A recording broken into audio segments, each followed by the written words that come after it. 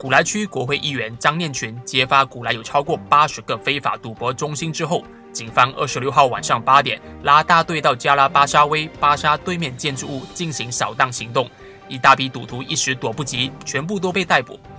赌客一度要离开座位，充当来看看的观光客，结果被警方喝止坐回原位。这间赌博中心外面有黑色贴纸，室内灰暗烟味浓，里面也有提供饮水机，仿佛是正规赌场。警方充公了所有马鸡和老虎机，数十名本地和怀疑是有外籍的赌客带回警察局做进一步调查。